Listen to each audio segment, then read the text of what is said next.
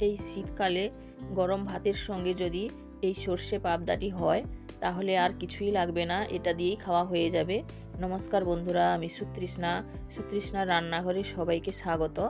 আজ আমি তোমাদের সর্ষে পাবদা করে দেখাবো একদম সহজ পদ্ধতিতে কীভাবে তৈরি করবে, সেটাই তোমাদের আজ দেখাবো।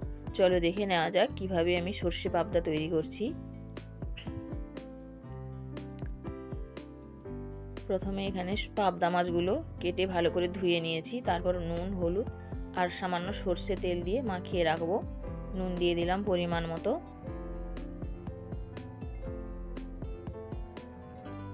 এবার হলুদ গুঁড়ো দিলাম। এবার সর্ষে তেল দিয়ে মাখিয়ে রাখব। কেননা যেহেতু এই মাছে আঁশ থাকে না, ভাজার সময় ফেটে তেল ছিটকাতে পারে, সেই জন্য অল্প সর্ষের তেল দিয়ে মাখিয়ে রাখতে হবে। এরপর সর্ষে, পোস্ত আর কাঁচা লঙ্কা মিহি করে বেটে নেব। এই দেখো, খুব মিহি করে বাটছি।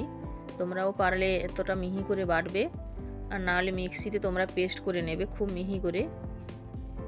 এখানে সাদা সর্ষে, কালো সর্ষে আর পোস্ত নিয়েছি। আর কাঁচা লঙ্কা নিয়েছি তিনটে।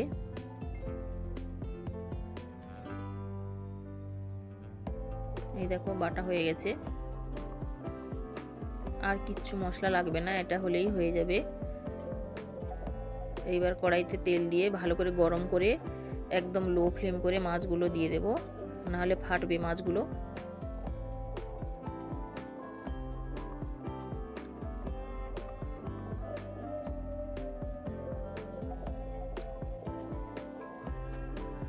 এক পিঠ হয়ে গেছে, আর এক পিঠ উল্টে দেবো। খুব সাবধানে উল্টাতে হবে যেহেতু এই মাছগুলো একটু নরম হয়, সেই জন্য খুব আস্তে আস্তে উল্টাতে হবে, নাহলে ভেঙে যেতে পারে। এই দেখো মাছগুলো ভাজা হয়ে গেছে, বাকি মাছগুলোও ভেজে নেব। ভিডিওটি যদি ভালো লাগে, একটি লাইক আর সাবস্ক্রাইব করে দিও।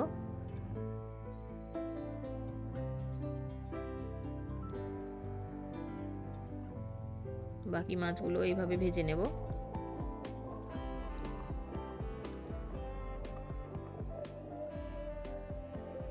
তোমরা বাড়িতে এইভাবে ট্রাই করো, দেখবে খুবই ভালো লাগবে খেতে। এগুলো ভাজা হয়ে গেছে, তুলে নেব।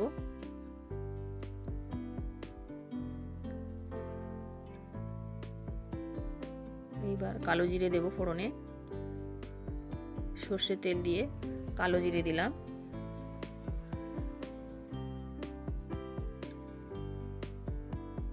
টমেটো বাটা দেব।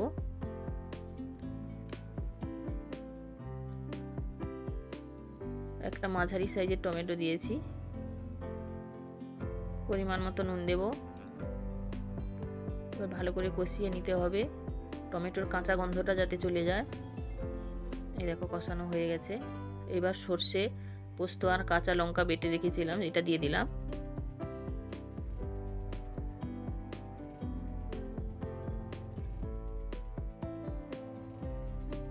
আবারও ভালো করে কষিয়ে নেব। হলুদ গুঁড়ো দিলাম।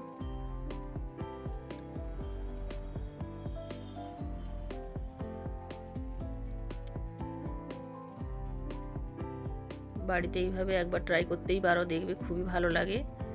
অল্প চিনি দিলাম।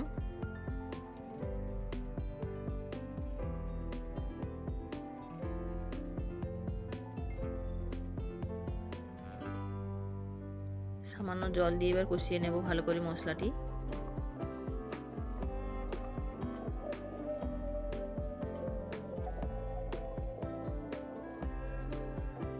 লো ফ্লেমে রেখে একদম মশলাটি কষাতে হবে।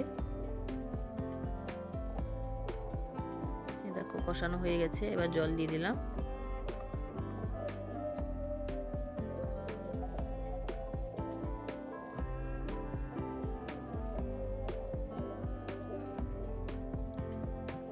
গরম জল দেবে। রান্নায় গরম জল দিলে টেস্টও ভালো হয়। ফুটে উঠলে মাছগুলো দিয়ে দেব। এবার ভেজে রাখা পাবদা মাছগুলো দিয়ে দেব।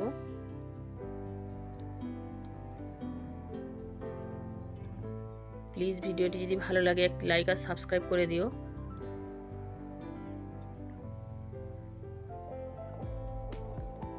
একদম ইজি রান্না করা। খুব তাড়াতাড়ি হয়ে যায় এই রান্নাটি।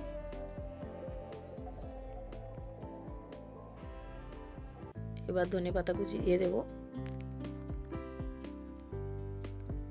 ধনে পাতা দিয়ে দিলাম।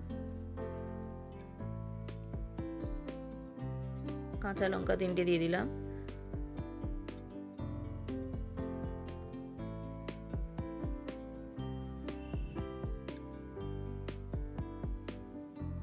ঢাকনা দিয়ে দেবো কিছুক্ষণ। এই দেখো, হয়ে গেছে আমাদের সর্ষে পাবদা। রেডি, আমাদের সর্ষে পাবদা রেডি হয়ে গেছে। এবার নামিয়ে নেব।